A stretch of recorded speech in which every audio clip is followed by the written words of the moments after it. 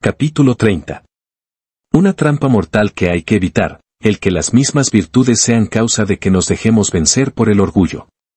Una de las más traicioneras trampas que se nos pueden presentar en el camino hacia la santidad, consiste en que el considerar las virtudes y cualidades que tenemos nos dediquemos a sentir complacencia y exagerada estimación de nosotros mismos, y así nos dejemos dominar por el orgullo, la vanidad y la vanagloria. Los santos aconsejan, hay que recordar miserias y debilidades pasadas para evitar orgullos presentes y futuros. Tenemos que decir con San Agustín, todo lo bueno que tengo es regalo totalmente gratuito de Dios. Lo único que poseo son mis debilidades y lo que he fabricado son mis maldades. Es necesario tener en la mente una verdad dicha por San Pablo, la cual nos puede librar de muchos orgullos y vanaglorias. Dice así, ¿qué tienes tú que no hayas recibido? Y si lo has recibido, ¿por qué te llenas de orgullo como si no lo hubieras recibido? Compárese primera de Colosenses 4, 7. Valorarse debidamente.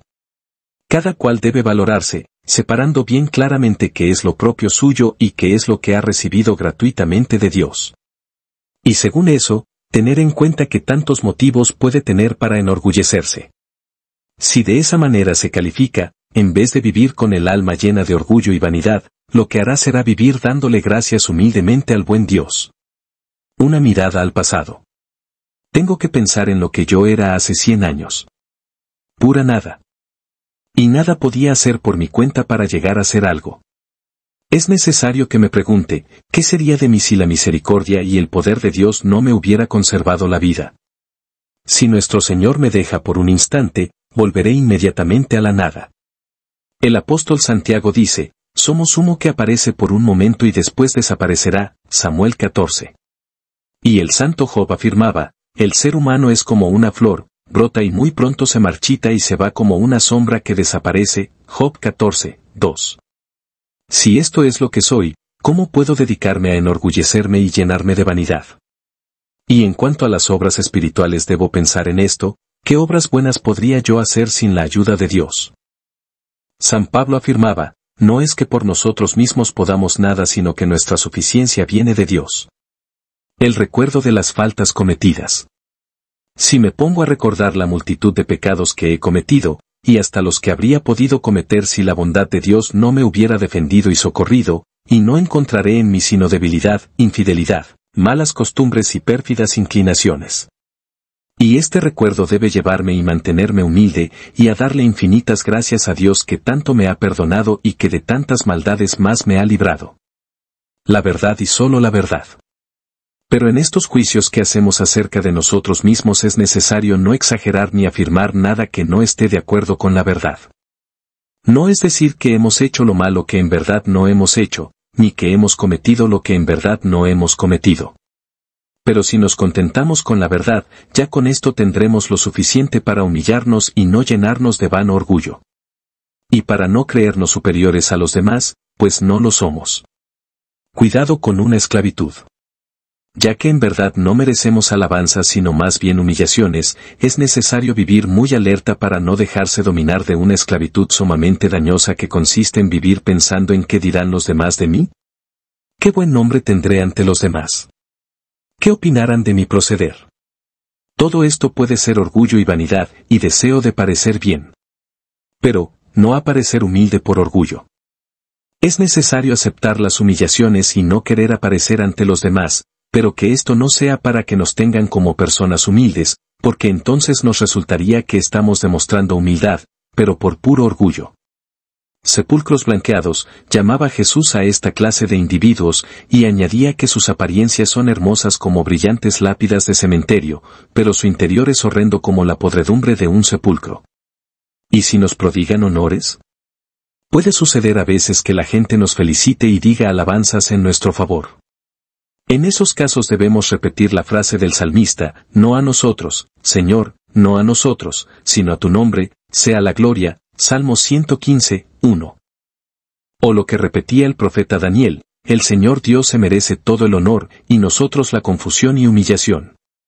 Y volviendo nuestro pensamiento hacia la persona que nos alaba y felicita, repitamos interiormente lo que decía Jesús, solo Dios es bueno, Lucas 18, 19, y pensemos, Esta gente me alaba porque solo conoce externamente mis apariencias de bondad, pero si me conocieran como soy en verdad, seguramente no hablarían así en mi favor. Puedo repetir con San Bernardo, estoy especializado en disfrazarme de persona buena, y por eso me alaban. Las alabanzas que me prodigan se deben a que no me conocen tal cual como en realidad soy. ¿Y si nos viene el recuerdo de las buenas obras que hemos hecho? A veces al recordar las buenas obras que hemos logrado realizar nos pueden llegar pensamientos de vanidad. Entonces debemos hacernos este razonamiento, todo lo que de bueno he podido hacer es un regalo del buen Dios, una generosidad de su infinita bondad. No me explico cómo de este abismo de corrupción y de iniquidad que es mi persona, pueden haber brotado estas buenas obras. Solo me queda repetir la frase del libro santo, es el Señor el que lo ha hecho. Y con humildad y con lengua de alabanza repitamos las frases bellísimas de la Virgen María en su cántico, El Señor hizo en mí maravillas. Gloria al Señor, Lucas 1, 49. Además de esto debemos pensar que las obras buenas que hemos hecho durante todo el curso de nuestra vida, no solamente no corresponden a la inmensa cantidad de luces y ayudas que hemos recibido de nuestro Señor, sino que han estado acompañadas de grandes defectos e imperfecciones, y que quizás en numerosos casos le faltó aquella pureza de intención de hacerlas únicamente para gloria de Dios y bien de las almas. Y si las examinamos bien, quizás en vez de producirnos vanagloria nos llenarán de confusión al ver cuánto mejor las podríamos haber hecho, y cómo las manchamos con tantas imperfecciones. Una comparación provechosa. Cuando alguien cree haber llegado a un alto grado de perfección en un arte, por ejemplo la música, basta que vaya a un concierto donde un gran maestro da unas demostraciones de sus altísimas cualidades artísticas. Al escucharlo se le disminuye muchísimo al principiante su creencia de que ha llegado a muy alto grado en ese arte. Así nos puede suceder si comparamos nuestras buenas acciones con las de los santos. Tendremos entonces que repetir lo que decía aquel gran predicador, comparados en santidad y buenas obras con los grandes santos, nosotros no somos más que unos pollos mojados y unos burros muertos. ¿Y qué diremos si comparamos nuestra virtud y nuestras buenas obras con las de Jesucristo? Sería como comparar a un insignificante gorgojo con una altísima montaña. ¿Qué son nuestros sufrimientos y nuestro amor a Dios y a las almas comparados con los del Salvador? ¿Y si nos comparamos con Dios? Con su santidad infinita con sus maravillosas obras y su continuo obrar en favor de todos y su generosidad sin límites y su capacidad inagotable de perdonar, y su pureza total? ¿Quién podrá sentir orgullo comparándose con Dios? No exponer los tesoros. Cuenta la Sagrada Escritura que una vez el rey Ezequías mostró a los embajadores de Babilonia todos los tesoros que había en Jerusalén, y el profeta Isaías le avisó que los babilonios al conocer tantos tesoros se iban a llenar de codicia, llegarían, se los robarían todos y se los llevarían para Babilonia. Y así sucedió, compárese, 2 Reyes 13, 20. Algo parecido puede suceder a quien vive descubriendo ante los demás las gracias y dones que ha recibido de Dios, pero hace ostentación de esto no para hacer bien a las almas, sino para inflar su propio orgullo. Vienen los enemigos del alma y le roban todos sus méritos y ganancias que habría podido atesorar para el cielo. La base de todo.